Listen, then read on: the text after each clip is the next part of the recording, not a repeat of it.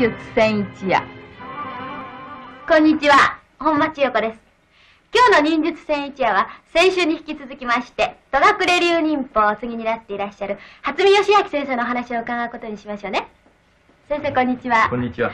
えっとあの今日も先週に続きましてあの忍術の道具のお話を伺いたいんですけれども、あのね、はい。道具はねやっぱり忍者はたくさんこう使うんですけどね。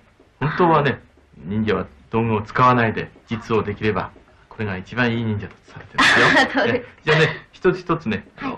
説明いたしましょうね。はい、お願いします。ああずいぶんいろいろありますね。なんだかちょっと見たとこ大工さんの道具みたいなんですけど。これがシコロですね。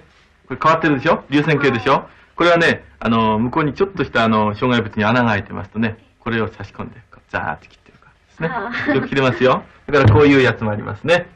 それからこれが飛びくいなんです。これでもってねあの土を掘ったりね。それからこれでもって松明を刺して持って歩ったり。それからこう武器にもなるわけですね。えこれは戸隠流独特の飛びくないってやつです。これは竹の中に入ってます。いつも入れておくときはですね。それから変わっているやつはこれが熊手ですね。これちょっと変わってますね。はい。普段はこういうふうに持ってある折りたたみになって。えそうですね。それがね、あの、何かこう目的を達すときに、ここに木のこういうやつをこういうふうに入れて、それで開いてこうかけやすくするというわけですね。だからこれが滑車です。これがね、お城からお城の間で縄を張っておいたりしてですね、それでこれをこうかけて、それで忍者がこれにぶら下がってさーっとこう滑っていくんですね。とっても面白いです。それからこれが思考鍵って言うんです。これ一つですけどね、これ二つはめるんです。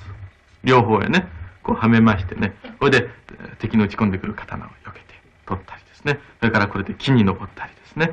それから、えーこれでもって穴を掘ったりね。えーいろんな風に使えるわけですね。それから、これが壺切りです。これはね、片方を差し込んでね、障害物の場合、これでもってこういう風に穴が開きますね。大きな穴が開きますよ。これの倍の穴が開く。それから、これがね、あの、忍び杖なんです。これでもって、あの、塀にかけたりして登っていったり、敵の足に絡まいたりする、まあ、忍者独特のまあ杖です。ああ、出ましたね。あらあらあらあらすごいですねこれもね、忍者のね、忍び込む一つの方法なんですよ。あうわあすごい場外から場内へこう、スルスルと入ってくるでしょ？あ自衛隊のね、連城部隊でもね、こういうことやってますよあ。はあじゃああの差し詰めあの忍術は現代に生きるってわけですねそうですね。先生今日はどうもありがとうございました。